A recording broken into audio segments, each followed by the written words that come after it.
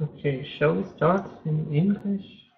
Why not? This is uh, English taught program. So we want to welcome everyone who joined the webinar of the Master Program of Political Analysis and Public Policy. And I want to introduce the people who are together with me. I'm Nina Belaeva. I am chair of the Master Program. And Artem. My name is Artem Muldanov. I'm a lecturer at the same program.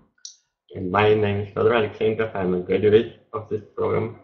So we added uh, a very special guest, Fyodor, who is uh, uh, graduated last year and now is working in the government of Moscow. And he will tell us what is he doing because many students and many um, uh, interested uh, to join the program are asking what are the graduates doing. А теперь давайте познакомимся. Может быть, у нас в основном русскоязычные студенты, и мы бы хотели узнать, вы уже о программе много знаете или вы впервые знакомитесь? От этого будет зависеть, как подробно мы будем рассказывать про программу. Поэтому напишите, пожалуйста, в чате, а, с программой знакомы или есть какие-то конкретные вопросы. Можно просто плюс или минус поставить, мы поймем. Или напишите, из какого вы города, потому что было бы здорово узнать, э, что из каких городов люди включили сегодня вебинар. Мы вот видим, что Марина Мартынова нам пишет по-английски. And so we are very welcome if you can write in English, because by this you show your level of competence. And because the program is English taught, we are, Volgograd is here. Yes, greetings. Ну что, будем про программу рассказывать на русском? Да, я Какая думаю, идея? по- пойдем просто в общих чертах. Мы не будем прямо совсем по слайдам идти и так подробно вам все рассказывать. Если у вас будут какие-то вопросы, вы, пожалуйста, задавайте, мы сразу ответим. Мы уже видим один вопрос, э, который касается собеседования. Мы обязательно на него ответим, я его записала. Э, Но сначала мы все-таки расскажем пару слов о программе. Значит, отлично, Ингушетия на связи. И у нас на связи еще Новгород, Нижний Новгород. Отлично. Ну что, значит, э, будем говорить, что м, э, you see the first slide, да? Political analysis and public policy, so that we can switch to uh, what the program is really doing. So for those who are new, that we have two specializations, public policy analysis and human rights and democratic governance. And this is two-year full program. And uh, what's important is that many of our students work and they combine work and study. And uh, most of our classes start after three And uh, many of them after six so that the people can combine uh, most, uh, uh, their studies and their uh, uh, and the work or just the first work experience. Moscow is joining. Ну что, значит, э, ну, я перехожу на русский язык, потому что на самом деле мы не будем подробно, подробно говорить о программе, вы можете прочитать, и мы это публикуем уже не первый раз, надеюсь, что вы это сможете быстро прочитать. Да, можно посетить сайт нашей программы, там тоже очень много разной информации присутствует. Но что важно, что м, эта программа инновационная, и что у нас присутствует международный коллектив. Мы постоянно это подчеркиваем, что у нас работают преподаватели из разных стран, из разных университетов. А, Из Швейцарии, из э, Соединенных, Соединенного Королевства, из Австралии, из э, Western Cape University. Сейчас у нас новый преподаватель будет from South African Republic. Э, Ну и, конечно, э, российские преподаватели, которые учились и довольно много знакомы с зарубежным опытом преподавания и публичной политики. И the environment of the program is truly global. Почему? Потому что не только преподаватели, но и студенты, но и вопросы, и темы, которые мы разбираем, они касаются глобальных вопросов. Поэтому будьте смелыми с точки зрения выбора тематики и ищите э, сравнительные исследования. Хотя работать потом вы можете в московском правительстве, как Федор, но этот международный опыт вам, Это безусловно, не поможет. Я надеюсь, да. Так.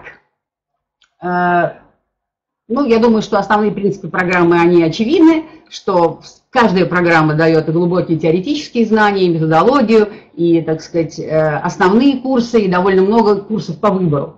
Поэтому давайте, может быть, посмотрим, на какие курсы основные у нас по выбору. Сначала мы А, посмотрим на, на лица лица преподавателей. преподавателей.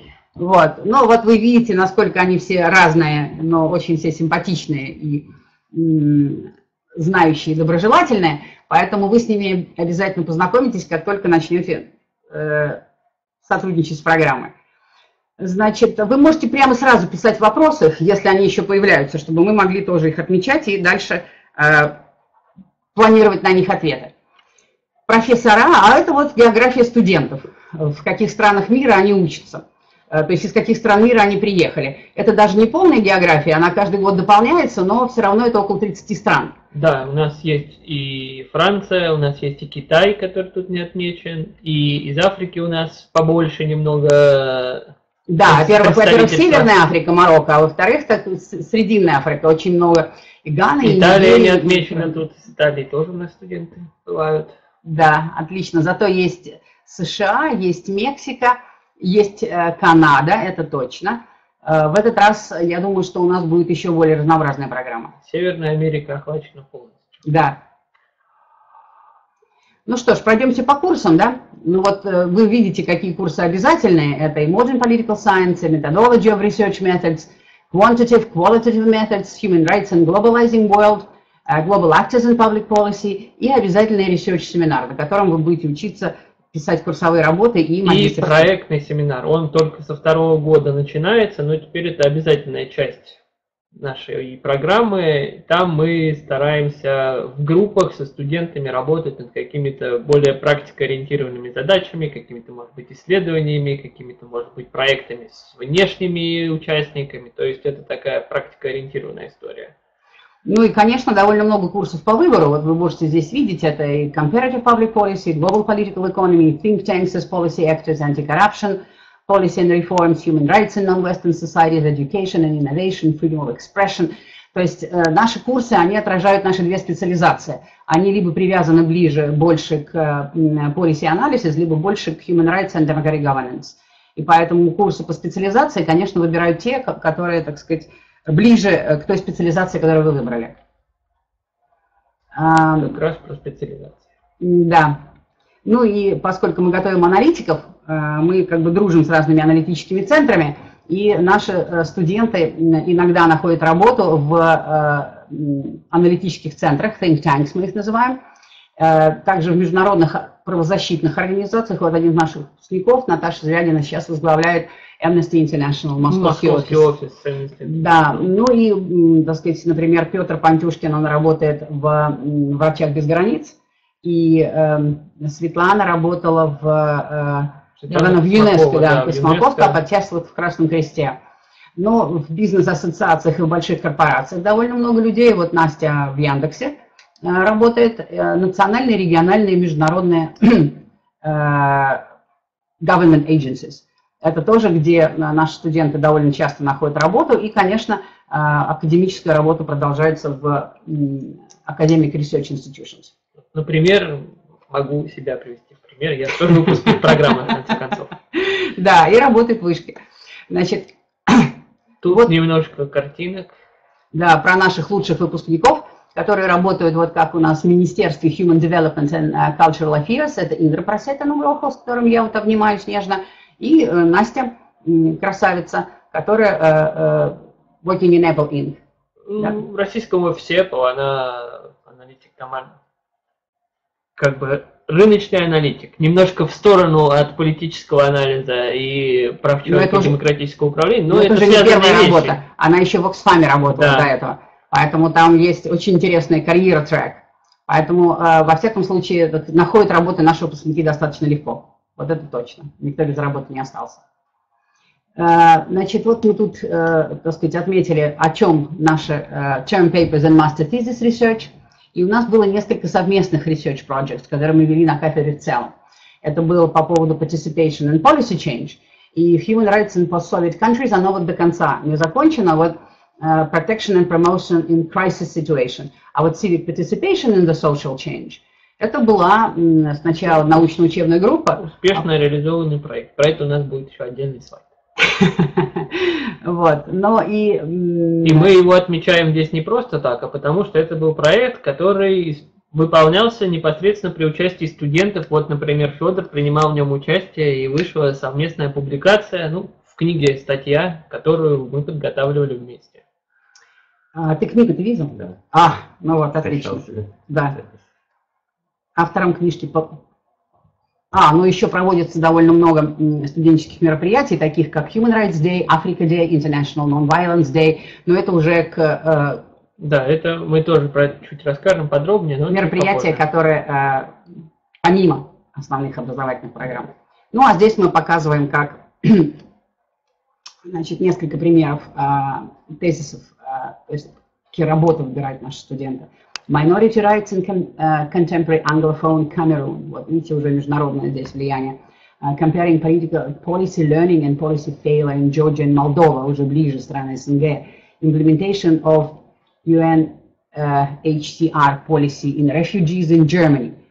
Uh, или political arts in the context of public policy in Russia. То есть uh, разброс огромный от культуры до uh, выполнения решений Международного суда по правам человека в uh, UN, the Organization of the Prohibition of the Chemical Weapons as a third party, uh, Salisbury poisoning case. Uh, this is, это Вера, насколько я помню, да? Это журналистка, очень интересная наша студентка. Uh, то есть мы берем наиболее uh, острые проблемы, о которых все говорят, о которых все рассуждают. Или вот, например, contemporary urban environment. Потому что урбанистическая политика, и вот куда Федор включился, теперь он нам расскажет, что именно он делает – policy in Moscow, это interaction of state and non-state actors. Конечно, вот эта политика рождается во взаимодействии государственных и негосударственных акторов. И здесь э, движемся дальше. Вот та самая знаменитая книжка, которая, так сказать, называется Protest Publics, Towards a New Concept of Mass Civic Action. Это э, все мы участники этого проекта. Я как бы один из э, да, редакторы редакторов. Указаны. Да, редакторы указаны. Но что важно, что здесь действительно целый год работала большая студенческая группа, работали молодые сотрудники группы, и focus of analysis был on the triggers of democratic development in hybrid regimes, democratic innovations in authoritarian environment, and watchdogs, э, думаю, что это слово вам знакомо, это, так сказать, э, э, наблюдатели и требовательные Э, как сказать, э, э, аналитики государственной политики. То есть они не дают государству отклониться от своих демократических обязательств. И вот эти вот watchdogs – это организации, которые raising concerns about the quality of democracy in consolidated democracies, потому что проблемы с демократическим управлением есть не только в развивающихся странах, но и в тех демократиях, которые давно работают. Ну и результат вот этого книги которая вышла в издательстве Шпрингер. Мы всем этим очень гордимся и э, надеемся, что вы тоже включитесь в работу, когда мы будем вместе с вами выпускать уже другую книжку. Продвигаться? Да, вот теперь, собственно, практики. Расскажешь? Я могу рассказать какие-то основные моменты и как раз Федора тогда попросить что-то рассказать поконкретнее, потому что помимо того, что он проходил практику в Карнеги-центре, куда не очень легко попасть, и там довольно серьезная процедура отбора, он как бы продолжил свое карьерное развитие и сейчас как работает в правительстве Москвы. Ну, здесь вы видите основные места. На следующем слайде их будет еще чуть-чуть побольше. Э, практика это всегда такой результат взаимной работы студента, научного руководителя и кафедры, потому что иногда есть студенты, которые четко понимают, куда они хотят, и они просто от кафедры просят каких-то там рекомендаций, какой-то поддержки, ну и мы, соответственно, стараемся их поддержать. Иногда студенты, когда у них, например, это иностранные студенты, тема какая-то очень сложная, и в Россию не найти места, иногда у нас есть возможность отправить студента за границу. А, так, например, было в случае нескольких наших студентов. Вот можно вспомнить нашего французского дорогого коллегу, забыл, как его зовут, который... Адриан Сере. Да, Адриан Сере. Да, он делал исследования по а, транспортной политике городов а, на примере а, Копенгагена и а, других северных городов и делал сравнительные исследования. Э, но отправить это не значит, что мы финансируем поездки. Студенты, как правило, сами находят на это ресурсы, но мы рекомендуем э, тем организациям, где они будут работать, с ними сотрудничать и помогаем им установить связи, чтобы они поехали туда легитимными сотрудниками, а не просто э, как бы от себя лично. Поэтому это действительно взаимодействие. Да, иногда бывает возможность организовать вот так называемое paid internship, когда организация представляет либо какие-то денежные суммы, либо там оплачивает, например, вам проживание и там какие-то суточные расходы. А, но по-разному складываются ситуации. В основном все-таки у нас партнеры в России, и в основном это какие-то российские организации, некоммерческие, государственные. То есть у нас люди проходят практику, например, э, при министерствах некоторых, э, при Государственной Думе, если их темы как-то связаны, потому что это очень важно упомянуть. Мы говорим про практики, но наши практики, они все завязаны на тему вашего магистрского исследования. То есть место вашей практики – это то место, где вы можете собрать какой-то ценный материал, какие-то данные, которые вам пригодятся для того, чтобы вы успешно ваше магистрское исследование завершили и защитили.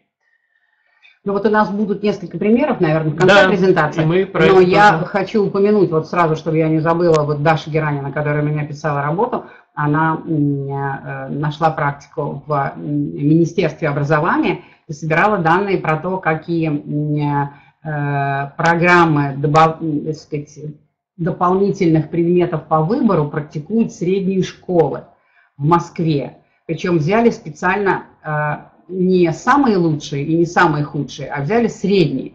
То есть тот вариант, который, так сказать, э, самый распространенный. И она сама брала интервью, сама ходила по этим школам, и в итоге она, так сказать, работает э, сейчас э, помощником замминистра образования. Значит, вот тут сразу вопрос, конкурс на прошлую кампанию, это два с половиной человека. То есть это не очень много, но достаточно для того, чтобы, так сказать, поконкурировать со своими, так сказать, друзьями и коллегами, которые будут на программу подавать заявление. Поэтому смело подавайте заявление, очень большой шанс поступить. Теперь, я думаю, Давай, слово Фёдор, Фёдор. расскажи. Про практику немножко расскажет и про текущее свое место работы. Да, мне повезло пройти практику в Московском центре Карнеги. А, Я всегда интересовался а, политическими институтами и качеством государственной политики России. Мне всегда было интересно это. И я давно следил за публикацией Московского центра Карнеги и экспертов этого центра. А, Соответственно, очень хотел пройти программу, о, практику а, в Карнеги. И э, перед практикой я много участвовал в различных мероприятиях, проводимых центром. А, Для того, чтобы попасть на практику, нужно было написать мотивационное письмо, получить рекомендацию преподавателей. И в итоге все закончилось благополучно, и меня взяли. Я прошел четырехмесячную практику в Карнеге, чуть дольше даже, чем нужно было, а, согласно учебному плану. А, На практике я участвовал в исследованиях э, по а, издаваемых а, центром подготовки брошюр по тематике а, российской внутренней политики, редак- помогал редактировать тексты, а, участвовал, помогал организовать мероприятия различные. И действительно, практика была очень насыщенной.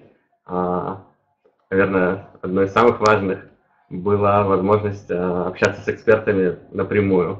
А, Там, с Андреем Колесниковым, например, или с Андреем Мовчаном.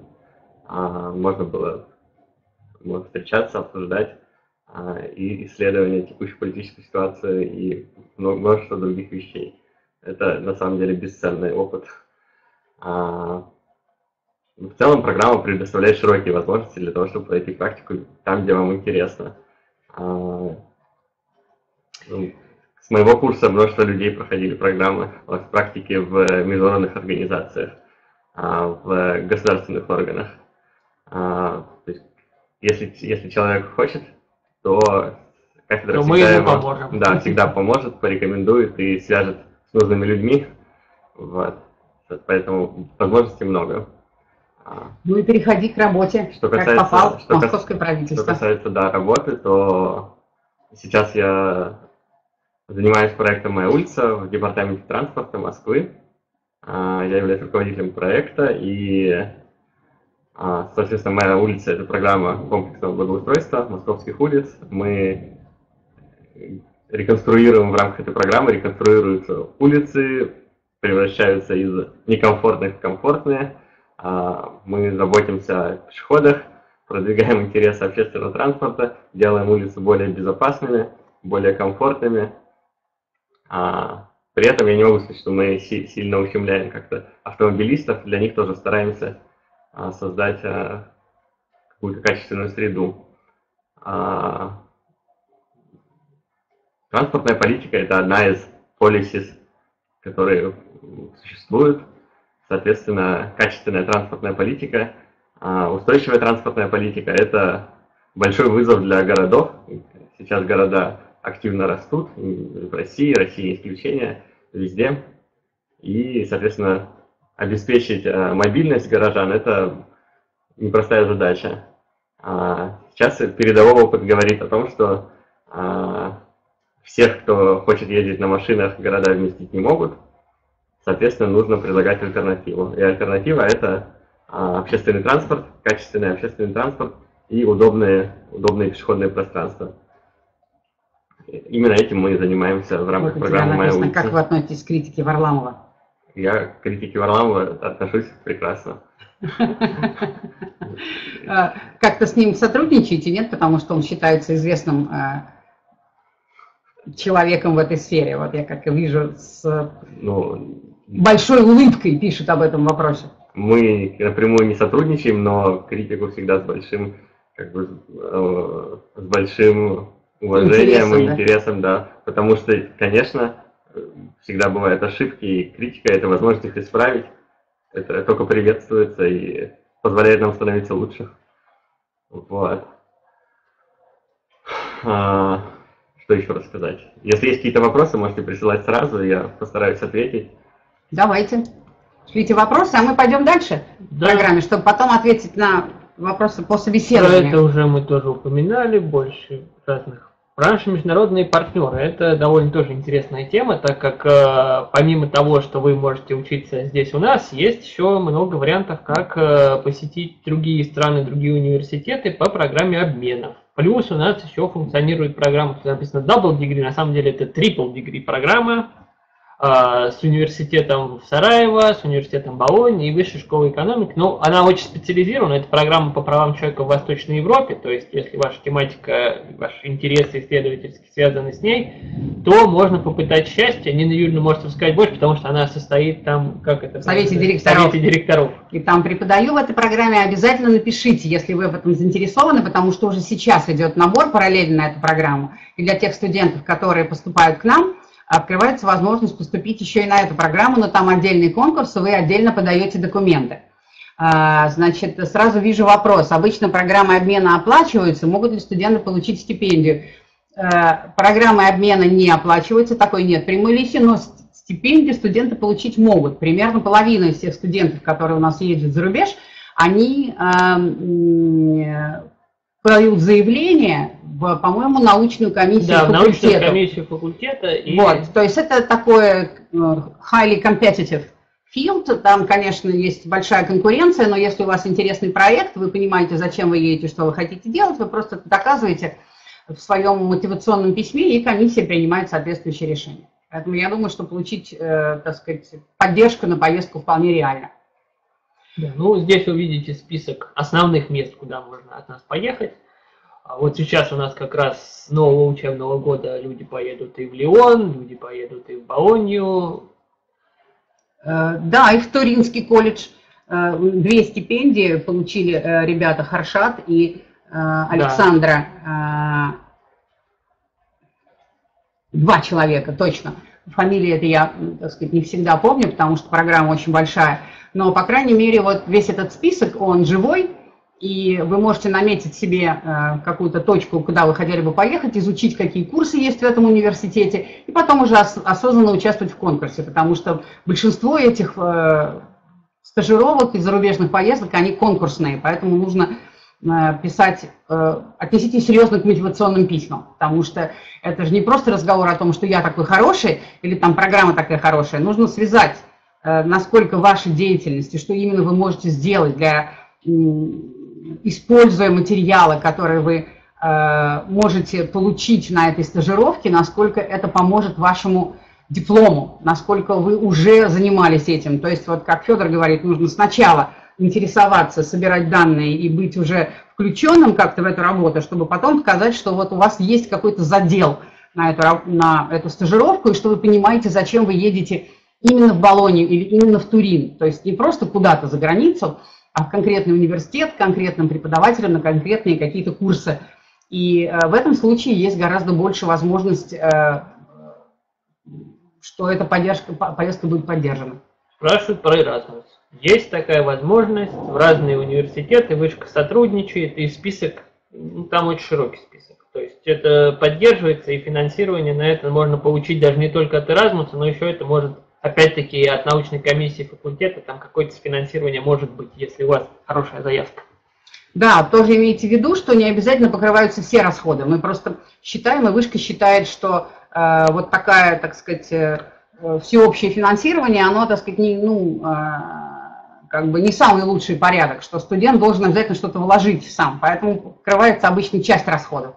Поэтому тоже будьте готовы к тому, что нужно будет вложить э, и интеллектуальные, и материальные ресурсы, если вы хотите получить хорошую, так сказать, зарубежную стажировку. Ну, давай дальше продвигаться, да, чтобы мы... дальше. У нас тут немножко фотографий. Это про наши различные мероприятия, как исследовательские, так и не совсем. То есть вот здесь вы видите три фотографии. Самая верхняя это из нашей школы зимней, которая была организована кафедрой по исследованию российской, русской, российской идентичности в малых городах. Мы ездили в Ростов Великий, и посетили еще Ярославль. Это, собственно, фотография с Ярославля со всеми нашими участниками школы. Там в основном были зарубежные участники, но несколько и наших студентов тоже было. Вот. И внизу фотографии зимних школ, которые организуются факультетом. Это факультетские зимние школы.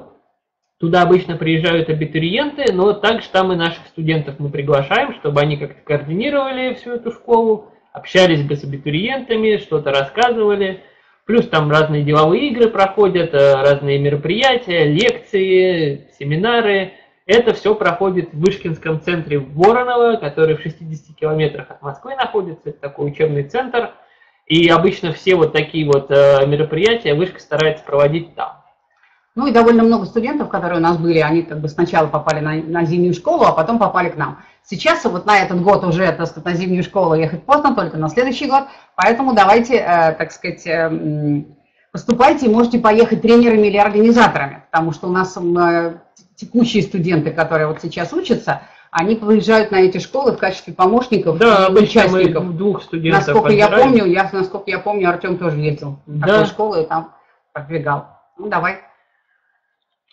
Э, двигаемся дальше. А вот это представители нашего текущего студенческого комитета, те, кто взаимодействует с разными официальными органами, как факультетскими, так и вышкинскими, для того, чтобы иногда отстаивать студенческий интерес, а иногда просто чтобы продвигать какие-то идеи.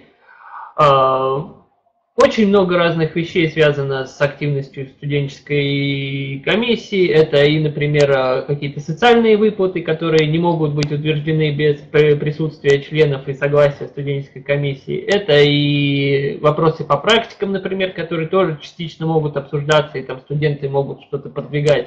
И если, например, у кафедры там не хватает возможностей, они могут попытаться связаться с каким-то другим подразделением – Организация разных мероприятий, например, вот в конце прошлого года было большое мероприятие, организованное студентами из Латинской Америки при участии наших студентов в том числе, и Вышка выделила помещение для того, чтобы проводилась эта конференция, там был длительный процесс согласования, но были выделены деньги, были выделены как бы комнаты и территория, Вышкинск, один из вышкинских кампусов был задействован, то есть ну, это целиком была инициатива Да, студентов. это была целиком студенческая инициатива, то есть преподаватели там, ну, мы присутствовали просто для того, чтобы облегчить какие-то переговоры там с факультетом или с вышкой в принципе. Наверное, надо назвать, что это студенческий комитет, мы называем его студактив, потому что это люди, которые сами пришли и сами решили, так сказать, заниматься вот этой активной работой. Если мы пойдем по часовой стрелке снизу вверх, это Джо Крипс из Великобритании, дальше а, Драгалина Вранчана, да, Из, из, из Молдовы. Э, Инеш Ракель из Португалии. Феликс. Феликс Буат из Германии. Из Германии. А, Александра из э, Соединенных Штатов. И Харшат из Индии, а в середине Ксения э, из России. То есть вы видите, что значит, очень активное участие в наших студенческих комитетах Студент, принимают... Комитет тоже международный. Международные студенты. Да. А, вот student chamber, как мы ее называем. Угу.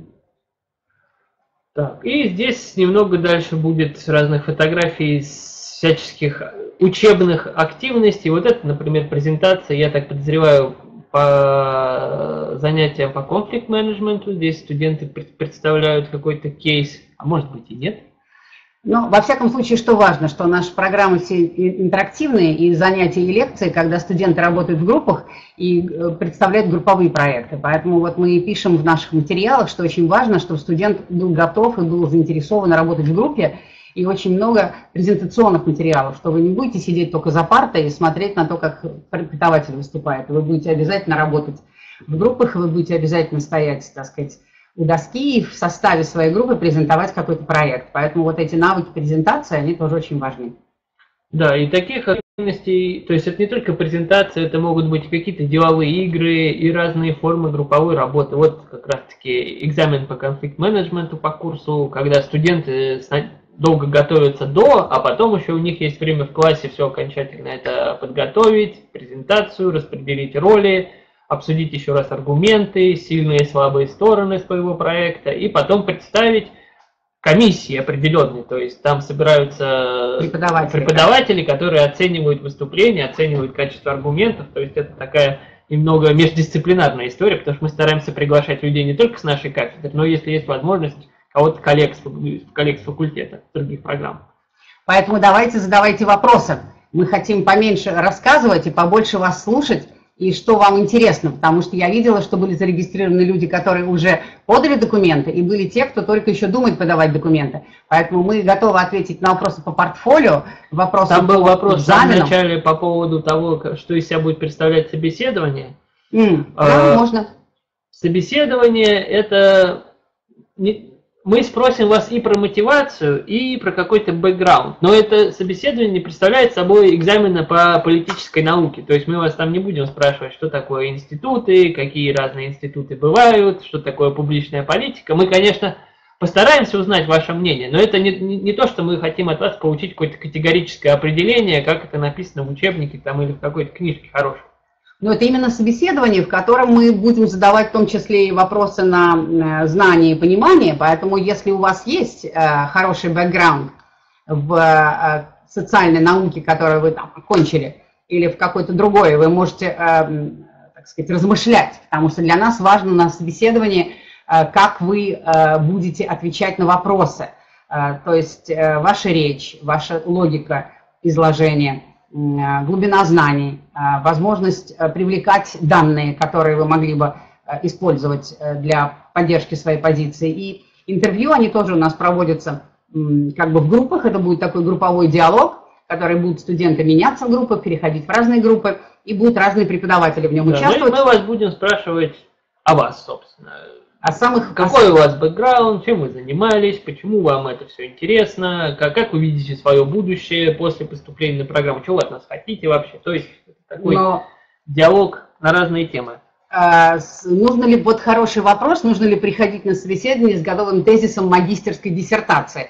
Ну, с готовым тезисом вы вряд ли сможете прийти, пока вы еще не прошли вот эти все беседы, но если у вас есть уже идея, если есть тема, если вы понимаете, каким вы э, хотите заниматься вопросом, то это совсем неплохо. Вот, Федор, ты когда поступал, ты знал, чем ты будешь заниматься? Нет. Нет. Но, по крайней мере, когда был разговор, какие темы тебе интересны там в политических исследованиях или какие интересны в, э, так сказать, в сфере прав человека, то э, это важно. То есть, если вы будете готовы отвечать на конкретные вопросы, что вы хотите исследовать и как э, вы видите перспективы своей работы после защиты диссертации. Это было бы очень важно. Поэтому вот обдумайте это, потому что для нас очень важно ваше э, осмысленное поступление и э, понимание, э, зачем вы поступаете на программу, что вы хотите получить, какие знания, да, и как вы видите перспективы своей работы сами.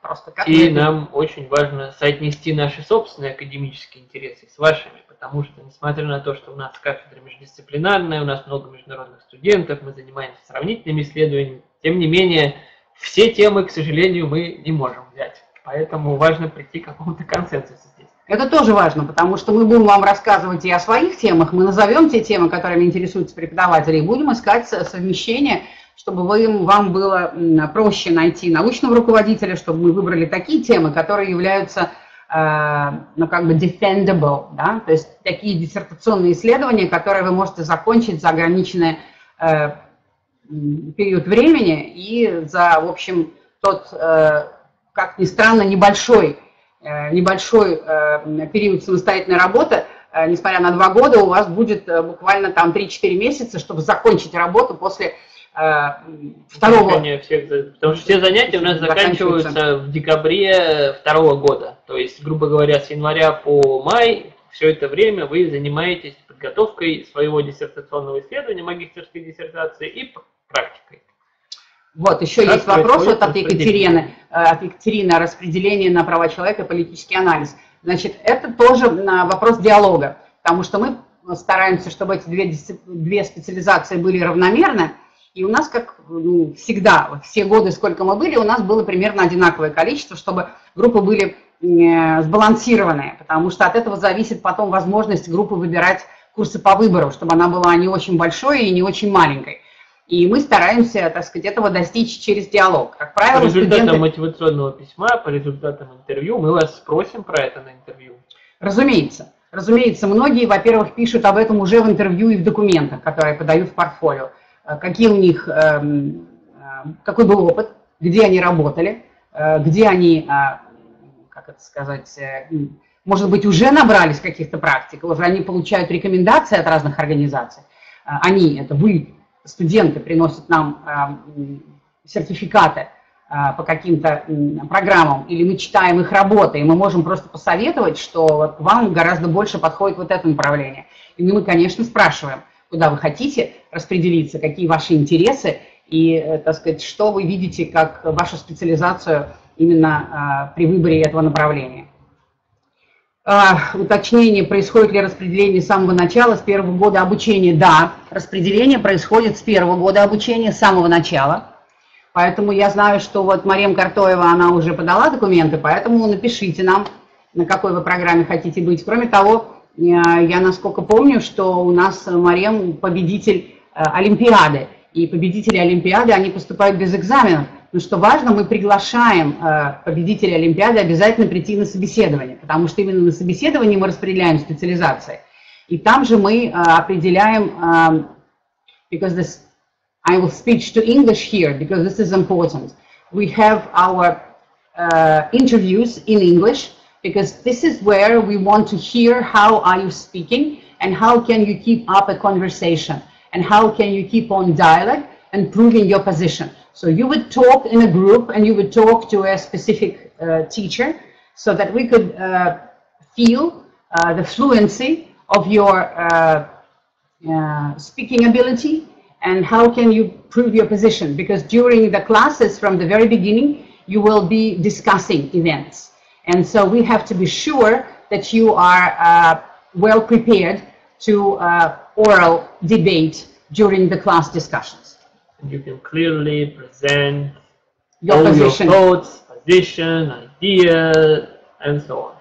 Тут поступил вопрос технический. Достаточно ли подписи руководителя научного? По-моему, да. Я рекомендую вам написать э, в наш учебный офис Екатерине Чеклиной С этим вопросом. Но, по-моему, если у вас будет скан листа с подписью вашего руководителя, этого достаточно для подтверждения. А, притом, я думаю, что, так сказать, полностью ВКР прикладывать тоже не обязательно. Это может быть какая-то конкретная глава. В чем смысл э, ВКР или каких-то других документов? Мы Какой-то хотим... автореферат, summary, что-то такое. Безусловно, но это как бы ну, не меньше 10 страниц, чтобы это было не трехстраничная, так сказать, э, маленькая записка, все-таки uh, example of the writing sample. So we need to see how well you are writing and how, uh, how well you're speaking and how well you're writing. So these are two different abilities and we're interested in both. And this is why we request that you uh, send us the text. Ну, ВКР это обязательная часть, мы ее как бы не можем обойти, то есть студент нам обязан прислать example То есть ВКР пример, обязательно? Да, пример Ты думаешь, ВКР. думаешь, целиком, по-моему, у нас да, были, когда, когда, прис... да. когда присылаются еще и разделы в работе. Нет, это хорошо, если вы пришлете какой-то summary, что-то такое, чтобы нам проще было сориентироваться и проще было читать вашу работу. Но в любом случае это обязательная часть. Вот Екатерина спрашивает, студенты пишут для магистрской диссертации на английском? Да. Все преподавание ведется на английском, Федор не даст да. соврать, да? С, мы просто здесь говорим по-русски, чтобы, может быть, вам легче было это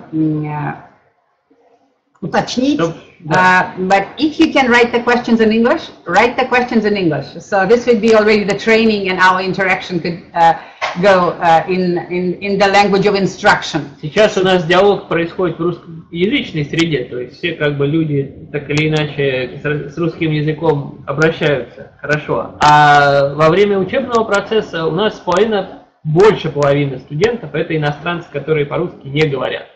И поэтому вся коммуникация и все вот эссе, все какие-то Home assignments, да, all types of assignments and so on and so forth, everything will be in English.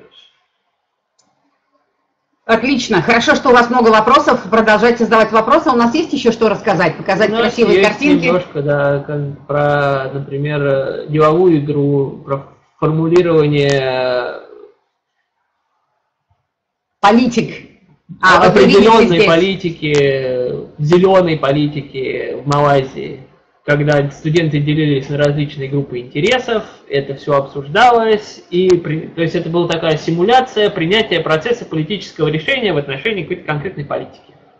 Ну, а, именно здесь что важно, что вот эти реальные группы были выбраны, что, так сказать, для страны, в которой важно, что есть э, нефтяное лобби, и что есть аналитические центры, и вот мы видим Think Tank One и Think Tank Two, потому что это никогда не бывает какой-то один аналитический центр, а всегда есть рынок аналитической продукции, и центры, так сказать, э, заметно отличаются, когда они консервативные или либеральные, и обязательно есть какие-то внешние акторы. В данном случае у нас здесь UNDP representative. Uh, good. We have a, uh, an- a comment in English. Thank you for your answer. Could you please specify when the interviews will take place? Oh, exactly We've in got the exact date, 3rd of August, if I'm not Yes. mistaken. Uh, and this is easy to explain the reason why. Uh, because by 31, we need to receive all of your portfolios by 31. Of uh, July. of July. But if you are using the electronic cabinet and if you're using the mm, uh, website, this have to be uploaded before 29. So 29 of July is the last day. Please remember that. Uh, 31st is only when you personally come to uh, the enrollment commission. When you Еще plan раз, to bring еще your раз повторю на hard русском, copies. почему? потому что это важно, что если вы загружаете документы через личный кабинет, то последний день 29 июля. Пожалуйста, запомните и э, учтите, распланируйте свое время, времени осталось совсем немного. И если вы до 31, значит, должно прийти либо пакет ваших документов, если вы отправляете по почте, а лучше срочной почтой отправлять, она более надежная, там, DHL или какие-то другие срочные почты. И тогда вы э, э, будете уверены, потому что 31 это действительно последний день, когда закрываются все возможности э, дополнить э, вот эти документы. Они э, просто будут, так сказать, прием закрыт. И поэтому 1 и 2 мы сидим и с утра до вечера проверяем ваше портфолио, а 3 числа это суббота.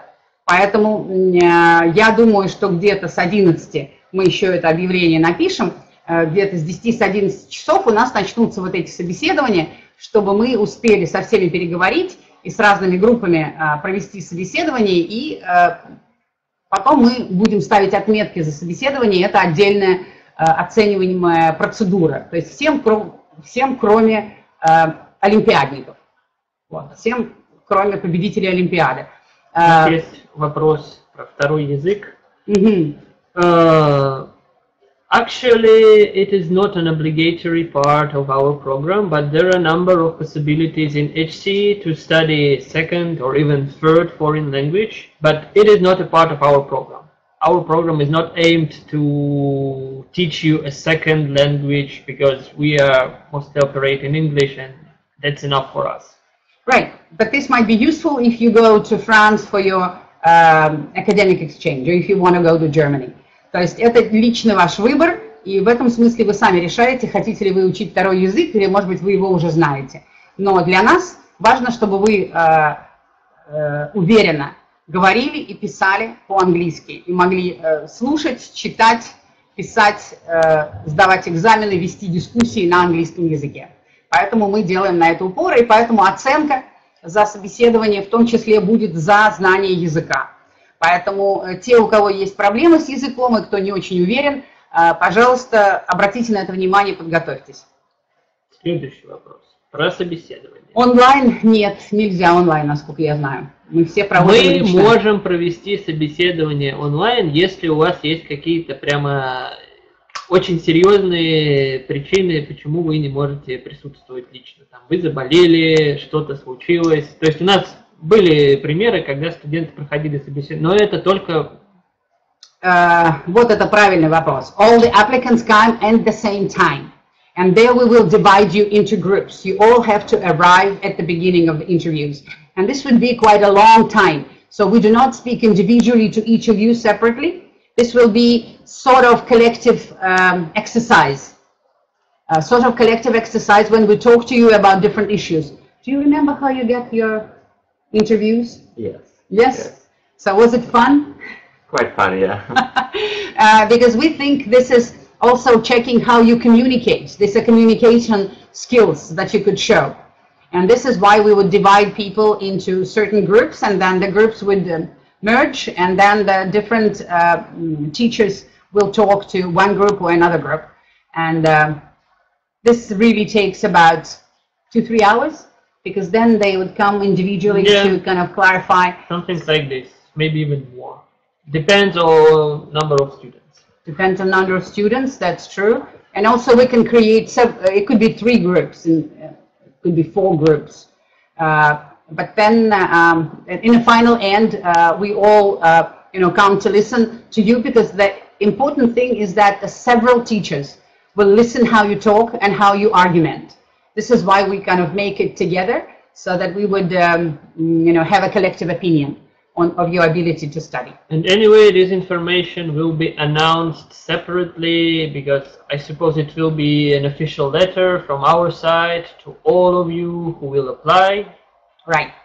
By the manager. Yes, by the manager of our study office.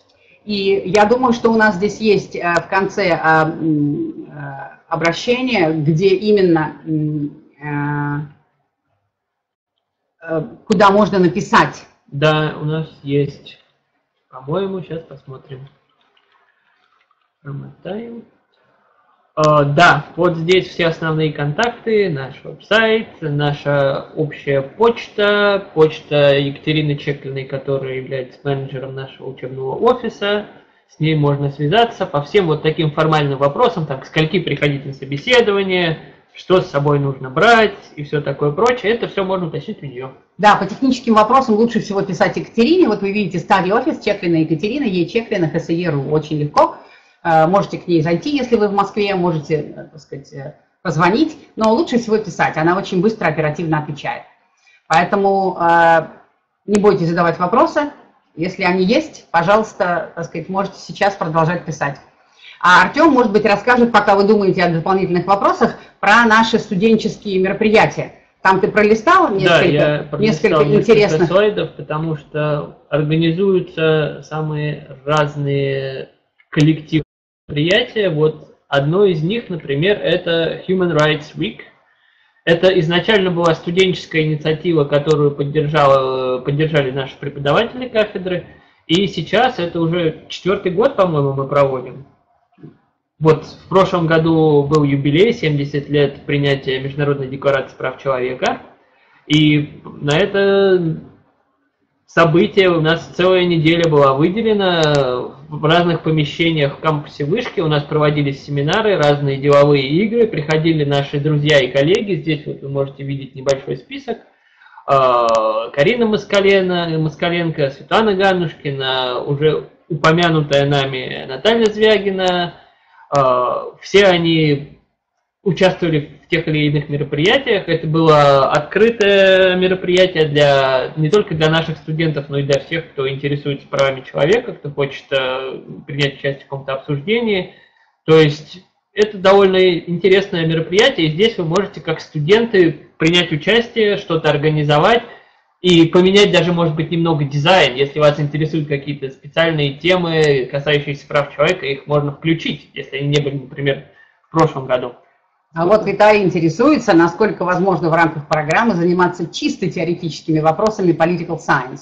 На теоретические вопросы political science есть другие программы. Мы занимаемся practical issues Мы of не public занимаемся policy. hard political science. Да, и здесь действительно важно, это хороший вопрос, потому что чисто теоретические вопросы, мне кажется, больше на, может быть... Ну, опять-таки, что, если э, это вопросы политической философии, философия, например, да, есть то это, наверное, это не к нам. А если вас интересуют, например, теоретические аспекты, например, каких-то теорий публичной политики или процессов принятия политических решений, или там policy failure theory, это, в принципе, возможно. And public policy has its theories. Because Конечно. there are a number of theoretical approaches within public policy. But public policy is understood is as applied science. Поэтому они, так сказать, чисто теоретическими их вряд ли можно назвать, но заниматься theoretical issues of public policy, безусловно, можно. Поэтому есть две специализации. А, и те, кто занимается вот политическим анализом, а вы говорите, э, не имеющими отношения к политическому анализу, вряд ли. Поэтому вот для этого у нас же много программ, которые касаются вот этих... Э, Анализ какой-то должен... Одним только мы не занимаемся. Нет, анализом заниматься нужно обязательно. Вот. Следующий вопрос. Other professors who are studying Russian soft power? Yes, they are. Actually, First of all, Professor Sanjay Rachans, our colleague and, from and, India, and who myself. is interested, and Professor Bilaeva is also partially interested in this topic. Да, поэтому если у вас есть конкретное э, предложение по soft power development or soft power implementation, пожалуйста, задавайте, предлагайте. Но э, there should be there should be issue in the center. А, понимаете, то есть мы должны обязательно определиться, в какой сфере а, сказать, применяется вот это вот soft power, и что мы под ней понимаем, потому что мало, а, так сказать, абстрактных рассуждений, мы должны посмотреть, как работает это soft power. У нас даже курс есть на летнем университете, как она работает и не работает. Поэтому есть э, предположение, что э, Russian soft power is not very well developed, but we can uh, analyze those topics quite in detail if you're interested. You can contribute to this field and propose something to make it more effective. Mm -hmm. This is true as well. Но я думаю, что кроме прав, надо рассказать, наверное, про Золушку, кроме недели прав. Да, это тоже это было у нас Amnesty. мероприятие, это вот несколько фотографий, как раз-таки э, с мероприятия прошлого года, ну вот этого вот декабря. Это, где... по, это по Amnesty. Это по юбилею декларации по Human Rights Week когда к нам приходили люди из Amnesty, там мы подписывали письма коллективные, чтобы, например, Аюба Титиева освободили, и прочих политических узников, не только из России, так как Amnesty занимается подачей коллективных петиций про узников совести или политических Других узников стран. в разных странах. Да. А то, про что Нина Юрьевна упомянула, это, опять-таки, в прошлом году, в конце недели прав человека, у нас был проведен спектакль краткое введение в права человека через театральную постановку. Это такое было своеобразное переосмысление идеи истории Золушки с упором на различные аспекты, которые так или иначе касаются прав человека и даже прав животных. Как вы видите, вот здесь есть замечательные плакаты Dog Rights Matters. And Dog Lives Matters. And Dog Lives Matters. Здесь вот все участники спектакля и зрители в том числе. А, было задействовано больше, по-моему, 15 наших студентов. Нет, я думаю, что очень, да, очень, очень активно студенты включились, они сами написали сценарий, сами подготовили э, э, как бы э, театральную экспликацию, и очень интересно ее провели. А, поскольку мы действительно считаем, что права человека и публичная политика – это связанные вещи, и в очень многих случаях мы видим, как они дополняют друг друга, а, когда а, вопросы прав человека отражаются, ну, права пешеходов, права автомобилистов. Да? Вот мы говорим, вот Федор занимается у нас как бы публичной политикой да, непосредственно, но они так сказать, таким образом ей занимаются, чтобы учесть интересы разных, э, интересы и права разных групп населения. Поэтому э, значит, эти вещи связаны, но, естественно, у них есть своя, э, так сказать, core subject. И поэтому курсы по выбору будут отличаться, и занятия, так сказать, двух специализаций будут проводиться на втором году обучения раздельно. В этом смысле специализации, они, так сказать, достаточно консолидированы внутри себя. Ну, то, что касается Есть у нас немного, да, про разные такие совсем э, внеучебные активности. Это и праздновать день рождения, и какие-то празднования Нового года, например, когда собираются студенты на кафедре, и мы какое-то совместное организуем празднование. Иногда даже подарки дают, как видите. Да, Дед Мороз у нас получился на славу. Думаем, с вашим участием можно будет сделать э, дополнительно. А, вот это вот очень важный слайд. Давайте на нем немножко сосредоточимся буквально. Значит, вот сейчас время подачи портфолио. И мы рассчитываем, что а, вы уже, те, кто решил принять участие в программе, а, собираете или уже собрали большее количество документов. Обратите внимание, что очень важно мотивационное письмо. И а, оно должно быть а, обдумано и серьезно подготовлено, чтобы вы в нем отразили, а, что в вашей биографии и в вашей предыдущей деятельности – позволил вам сосредоточиться на тех вопросах, которые изучаются в программе. И как вы видите использование знаний, полученных на программе в дальнейшей работе. И естественно, что вы э, присылаете свой диплом вместе с транскриптами, чтобы мы увидели вашу, э, так сказать, успеваемость. Э, и очень важный аспект, который мы всегда подчеркиваем, что все ваши дополнительные достижения, это вот рекомендательные письма, это сертификаты, участие в конференциях, участие в каких-то научных мероприятиях. Или просто каких-то проектах. Например, вы там волонтером где-то участвовали, собирали, например, какую-то социологическую информацию или еще что-то делали. Это да, все важно. да, если, да, обязательно, чтобы это было подтверждено каким-то вот сертификатом тех людей, которые были организаторами этого мероприятия, поскольку каждый такой документ, он имеет свой, свой вес, и он отдельно оценивается тезис э, мы просим целиком. Да, просим целиком, но опять-таки, как я уже говорил, если вы помимо целикового своего исследования там бакалаврского пришлете какой-то саммари, это будет очень полезно просто для того, чтобы нам лучше сориентироваться и лучше понимать, на, на что в тексте стоит обратить внимание. Да, и, конечно, мы очень ценим публикации. Значит, если у вас есть любые академические публикации, но не в студенческой газете, а лучше все-таки в академическом журнале или как бы представленная как бы работа на конференции, на научной конференции, э, потому что в студенческие годы проходит довольно много разных мероприятий, и э, подтвердить то, что у вас есть интерес э, к обучению, и есть какие-то итоги, какие-то результаты, что ваши...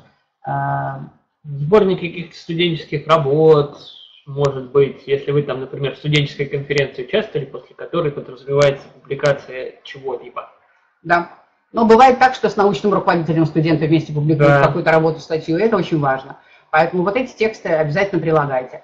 Поэтому вот э, самый лучший портфолио это когда есть разнообразные документы, вот там широкой палитра, можно очень много разных э, сведений представить, которые имеют свой вес, свое значение и учитываются при оценке портфолио. Поэтому посмотрите, чтобы ваши портфолио были разнообразными. Если будут вопросы с загрузкой документов, если будут вопросы технического характера, да, то можно, наверное, связываться с Екатериной Чеклиной и у нее уточнять, так, как лучше это вернемся на этот слайд со всеми контактными данными. Здесь можно посмотреть, еще раз записать, кому обращаться. Я смотрю, у нас время уже подходит к концу, уже да. Буквально осталась одна минута, поэтому, поэтому если да. у вас есть еще вопросы, есть еще минута их задать, и мы постараемся сразу ответить.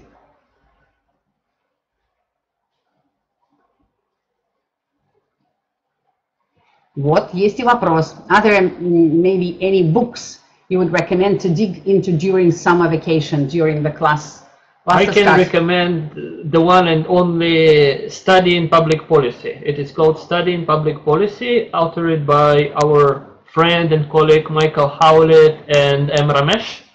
And this is a very good, you know, dive into public policy analysis and uh, this book will give you different insights. What is public policy process? What is process of policy making? And how you can study it how you can analyze it. Good.